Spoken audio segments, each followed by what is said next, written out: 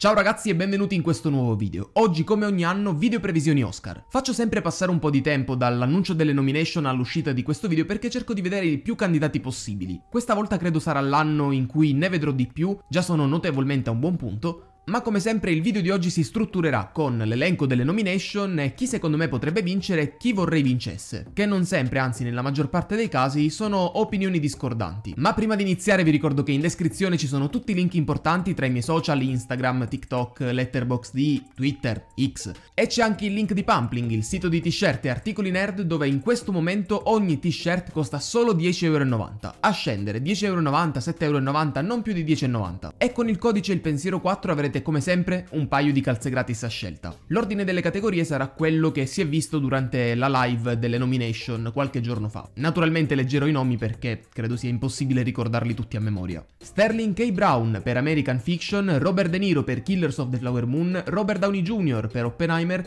Ryan Gosling per Barbie e Mark Ruffalo per Poor Things. In questo caso vorrei vincesse Robert Downey Jr. per Oppenheimer e credo che vincerà effettivamente. Non voglio parlare della polemica del, della candidatura di Ryan Gosling perché non è il momento adatto, l'hanno già fatto in tantissime persone, credo che non dovesse stare in questa lista e non perché mancano Greta Gerwig o Margot Robbie o perché c'è America Ferrera nell'altra categoria, però credo che non abbia fatto chissà che grande interpretazione in Barbie e a me Ryan Gosling piace. Quindi credo che per questa categoria potrebbe vincere Robert Downey Jr. e ne sarei felicissimo. Miglior costume: Barbie, Killers of the Flower Moon, Napoleon, Oppenheimer, Poor Things. Io vorrei vincesse Poor Things perché i costumi sono veramente stupendi, ma sfortunatamente credo possa vincere Napoleon.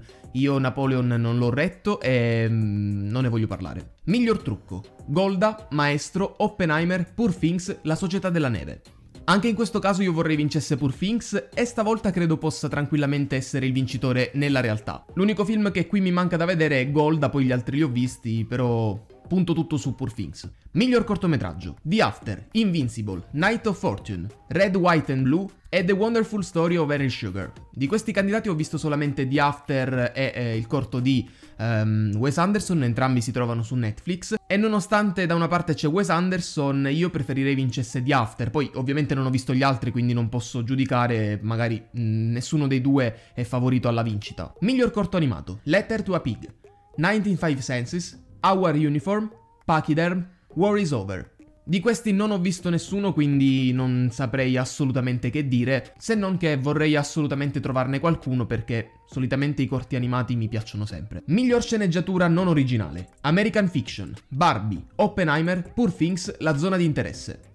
In questo caso vorrei vincesse Oppenheimer o Povere Creature, ma credo possa vincere The Zone of Interest, la zona di interesse. Non ho ancora visto il film perché in Italia arriverà il 22 di febbraio, lo vedrò per quella data, ma non so, sento che la zona di interesse è favorito per più premi quest'anno. Miglior sceneggiatura originale: Anatomia di una caduta, The Holdovers, Maestro, May December, Past Lives. Tra questi candidati mi mancano Anatomia di una caduta e May December. Um, May December tra l'altro arriverà a marzo, a fine marzo, quindi grande idea far uscire il film dopo la, la, giornata degli Oscar. Past Lives che ho visto in anteprima mi ha un po' deluso, sinceramente. E quindi io vorrei vincesse di Holdovers e magari potrebbe anche tranquillamente portarsi a casa il premio realmente. Miglior attrice non protagonista: Emily Blunt per Oppenheimer, Daniel Brooks per Il colore viola, America Ferrera per Barbie. Jodie Foster per Niad e Davin Joy Randolph per The Holdovers. Qui credo che la vincita di Davin Joy Randolph sia ovvia e anzi vorrei vincesse lei, anche se mi farebbe piacere per Emily Blunt, però in confronto all'attrice di The Holdovers che io avevo già conosciuto in Only Murders in the Building, non ha niente a che fare. Miglior canzone originale: The Fire Inside da Flaming Hot, I'm Just Ken da Barbie, It Never Went Away da American Symphony, Was Ase A Song for My People da Killers of the Flower Moon e What Was I Made For da Barbie. In questo caso credo che Billie Eilish con la canzone per Barbie si porterà a casa il premio e sarà il suo secondo Oscar, se non sbaglio l'ha già vinto per No Time to Die, per No Time to Die. Miglior colonna sonora originale: American Fiction, Indiana Jones e il quadrante del destino, Killers of the Flower Moon, Oppenheimer e Poor Things. Mi farebbe piacere vincesse Poor Things perché la colonna sonora è pazzesca, però credo che il premio ce l'abbia già scritto Oppenheimer perché ehm, la, la colonna sonora di Goranson è veramente magistrale, perfetta. Credo che Can You Hear the Music sia entrata già in principio fin da subito nelle mie colonne sonore preferite. Miglior documentario: Bobby Vine, The People's President, The Eternal Memory, Four Daughters, To Kill a Tiger, 20 Days in Mariupol. Non ho visto nessuno di questi documentari, non, eh, non, so in realtà neanche dove trovarli, però visti i temi trattati credo possa vincere tranquillamente 20 Days in Mariupol. Come lo dico io sembra tipo la piscina di Mario, non so come si pronunci. Miglior corto documentario. The ABCs of Book Banning, The Barber of Little Rock, Island in Between, The Last Repair Shop, Nine Eye a Waipo. Anche in questo caso non so come si pronuncia, anche in questo caso non ho visto nessun corto, se... so solo che Island in Between si può trovare su YouTube. Miglior film straniero. Io Capitano, dall'Italia. Perfect Days dal Giappone, La Società della Neve dalla Spagna, The Teacher's Lounge dalla Germania e La Zona di Interesse dal Regno Unito. Naturalmente non c'è da dirlo nemmeno la seconda volta, io vorrei vincesse Io Capitano, ma è ovvio che vincerà uh, The Zone of Interest perché, spoiler, è candidato anche come miglior film. Miglior film d'animazione: The Boy and Aaron, Il ragazzo dell'airone, Elemental, Nimona, Robot Dreams, Spider-Man Across the Spider-Verse. Grande mancanza, non ho ancora visto il film di Miyazaki, eh, però credo sia pazzesco da come me ne parlano praticamente tutti. Elemental per me non ha senso si trovi in questa, in questa lista, Nimona magari anche sì, Robot Dreams hanno deciso di farlo arrivare in Italia ad aprile, grandi geni, e io quindi vorrei vincesse Spider-Man Across the Spider-Verse, ma sappiamo tutti che vincerà lo studio Ghibli. Non ne sono dispiaciuto anche se non ho visto il film. Miglior scenografia, Barbie, Killers of the Flower Moon, Napoleon, Oppenheimer, Poor Things.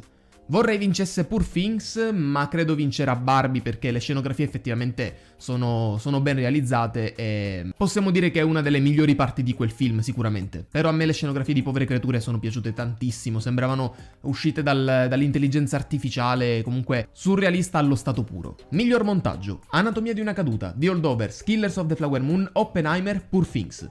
In questo caso vorrei vincesse Oppenheimer, ma potrebbe vincere Killers of the Flower Moon, ma secondo me c'è da tenere sott'occhio anche Poor Things in questa categoria. Miglior sonoro, The Creator, Maestro, Mission Impossible Dead Reckoning, Oppenheimer, The Zone of Interest. Vorrei vincesse Oppenheimer perché il sonoro è pazzesco, soprattutto in certi momenti del film, ma anche The Creator, nonostante io l'abbia visto solo su Disney Plus qualche giorno fa e mi sia annoiato comunque tantissimo, però ha un sonoro eccellente e mi sono comunque pentito di non averlo visto in sala, magari mi sarei annoiato anche meno. Migliori effetti speciali: The Creator, Godzilla Minus One, Guardiani della Galassia Volume 3, Mission Impossible Dead Reckoning e Napoleon. Vorrei vincesse naturalmente Guardiani della Galassia Volume 3, però credo possa vincere o Mission Impossible Dead Reckoning oppure lo stesso mm, Godzilla Minus One, che tra l'altro vorrei tantissimo vedere, in teoria potrebbe arrivare nei prossimi mesi su Amazon Prime Video, però il mio cuore dice Guardiani della Galassia Volume 3. Se vince Napoleon mi arrabbio. Miglior fotografia. El Conde, Killers of the Flower Moon, Maestro, Oppenheimer, Poor Things. Per me potrebbe vincere tranquillamente Poor Things, ma credo che il uh, premio andrà a Killers of the Flower Power Moon per la fotografia, anche se Maestro il film di Bradley Cooper ha qualche chicca interessante. Miglior attore protagonista: Bradley Cooper per Maestro, Colman Domingo per Rustin, Paul Giamatti per The Holdovers, Killian Murphy per Oppenheimer e Jeffrey Wright per American Fiction. Qua l'unico film che mi manca alla visione è American Fiction che non so quando arriverà in Italia, sicuramente a questo punto anche dopo gli Oscar come i suoi compari, ma credo senza dubbi che debba vincere Killian Murphy per Oppenheimer, anche se nelle ultime settimane sembra più favorito Paul Giamatti per The Holdovers. Sarei comunque contento perché è stato bravissimo, però vorrei Killian Murphy. Miglior attrice protagonista: Annette Benning per Niad, Lily Gladstone per Killers of the Flower Moon, Sandra Hüller, penso si dica così il nome, per Anatomia di una caduta, Carey Mulligan per Maestro ed Emma Stone per Poor Things.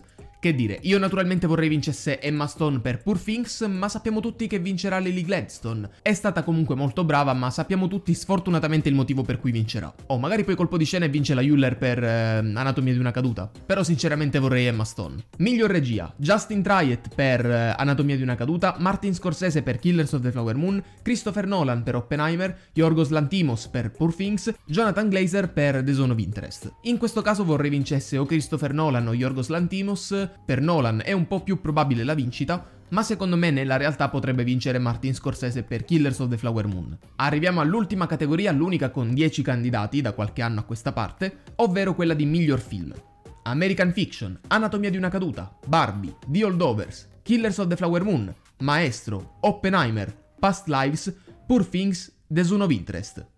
Io sinceramente in questo caso vorrei vincesse Oppenheimer, è anche probabile che vinca, ma ci sono tanti titoli che potrebbero aggiudicarsi tranquillamente il, um, il, premio. Come vi ho già detto, appunto, il fatto che The Zone of Interest sia candidato come miglior film è la conferma ovvia che vincerà il miglior film straniero. Alla visione mi mancano American Fiction, Anatomia di una caduta e lo stesso The Zone of Interest. Barbie, per quanto mi riguarda, non doveva assolutamente trovarsi in questa categoria e io sinceramente punto tutto su Oppenheimer eh, anche nel premio realtà, se vogliamo chiamarlo così. Ma ragazzi, fatemi sapere con un commento qui sotto cosa ne pensate voi, queste sono state le mie previsioni sia per i film che vorrei vincessero, sia per quelli che secondo me vinceranno effettivamente. Io credo che Oppenheimer ne uscirà vincitore con diversi premi, lo spero anche per Poor Things, sono sicuramente i due film che più apprezzo tra tutti i candidati. Prima di chiudere vi ricordo ancora una volta che in descrizione ci sono tutti i link importanti tra i miei social e il link di Pumpling, codice il pensiero 4 per un paio di calze gratis a scelta e niente, io sono Andri, questo è stato un altro mio pensiero per voi, noi ci vediamo in un prossimo video sempre su questo canale, Andri passa e chiude. Ciao!